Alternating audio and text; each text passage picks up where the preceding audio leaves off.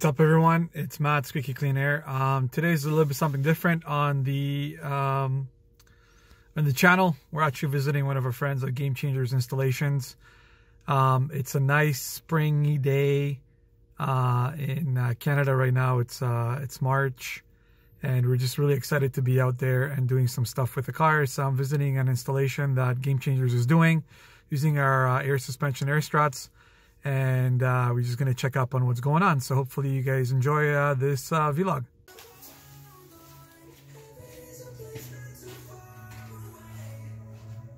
So this is a TLX that Ash Game Changers Installations is uh, bagging up right now. We're getting up up and down. We're just uh, checking everything out here. And uh, yeah, it's running one of our Slim 2 setups. So as you can see, these bags are way slimmer. Look how much more space you have up here. Um, they're especially unique for our brand. Uh, not a lot of companies use these bags. They're especially designed for our struts um, and various things. So uh, we'll keep you guys updated and hopefully maybe. You think we're gonna get it, if I if we do this, you think it's gonna be on the ground in a bit? You're almost done, right or no? Yeah, all I gotta do is power up. You put a fuse in in the front. That's Ash, by the way, Game Changers Installations. What up, guys? Up, I, wrong finger. I'm gonna say peace. And then uh, we just gotta put a 30 amp fuse in this, and then I gotta wire up the remote signal. And that's it. We're good to go. I'm Sweet. The lines in the van right now. Let's do it up. Let's do it up. So sick. So Ash just finished the uh, trunk setup and the back. Get the compressor, uh, the lines, and everything set up. We're just checking for leaks on this uh, TLX pretty exciting stuff. In the meantime, while he's doing that, I did some uh, custom stuff for uh, Ash's uh, sick bagged Sentra. Um, through Engage Aero, we did uh, custom end pieces. This is a, a Battle Aero wing that uh, he got installed, six six six wing. But the uh, end pieces that the Battle Aero stuff comes with are very common. A lot of people are running those because they come stuck. So I got Engage Aero to which is basically us. Made him some uh, real carbon fiber end pieces, which are gonna go super, super well with this, with this car, especially his rear diffuser. So I'm in the process of trying to mock them up. These are the ones that came with the car and we're just mocking up uh, the holes in order to align them and uh, get them set up. So stay tuned. I'll show you guys the final product. It's sick. It's, it's really, really, really sick. So here's the final product. Real carbon fiber um, overlaid end pieces makes his wing look a lot more aggressive. It flows with the body lines of the car especially his taillights as you guys can see there's a nice curve over there. It flows really well with the end piece.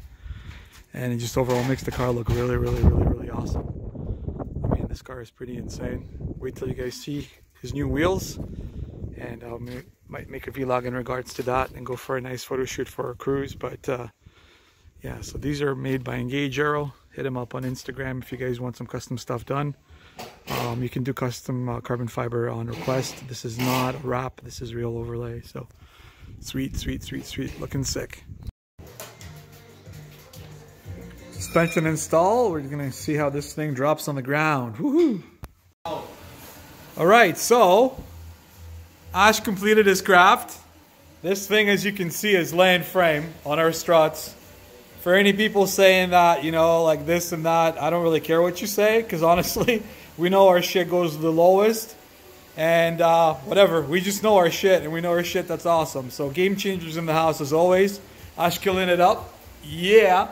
And know. this thing, exactly, you guys already know. And this thing is oh, slammed like yeah. a motherfucker, hugging the ground. Booyaka.